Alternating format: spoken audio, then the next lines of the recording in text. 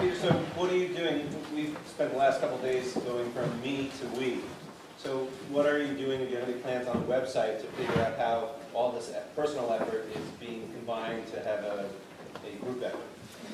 Yes, uh, we have some ideas, and, and part of the reason we're here, of course, literally here, uh, is we'd love to get some more ideas on how to get it. One of the things we are exploring, besides putting it up passively on our website, announcing it, try to get op-eds and that type of idea out there to, to spread the word that personal actions, if we all do it, can make a big difference. Um, and I think, by the way, this is a brief aside, I think it's actually really exciting. I mean, it is part of, it is a way to build a community. And right now, I think as a country, we're sort of feeling completely, there's no community here.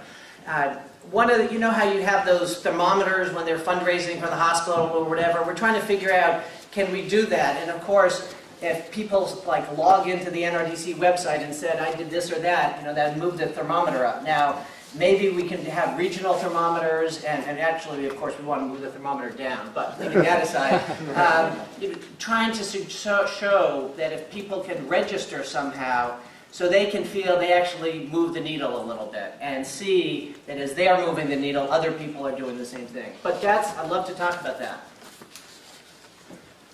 I- want to suggest, building on Jesse's question, something that has a bit of a dog that didn't bark aspect to your printout. Uh, The the last, the second to last full sentence on page one is, "All of the recommendations offered here are cost-effective and ready to be adopted immediately." If you look at the list, they will all save consumers money. And I would fear that people in Andy's profession will look at this and it'll be the same old story of personal carbon footprints and not talk about that dog that should be barking. Right.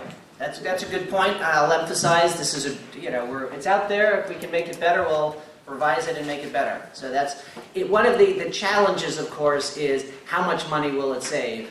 Uh, and so to try to uh, save, to, how we can be accurate but also not overly conservative, which is, I think, something that the overall the environmental community has probably been, been overly conservative and as a result not progressive enough. Do you want to respond to that, Andy? Well, just a really quick, just a note of clarification, or, or like an apple and, apples and oranges warning. Uh, this, this is nowhere remotely equivalent to a Socolow wedge. These are, those are a billion tons a year by 2050. This is, this is cumulative billion tons. No, this is, a, if we all do this, this is a billion tons a year, and if you take, if you keep having that many uh, I thought it said, it's not meal, clear. meals less So every here's the problem. Oh, stay here.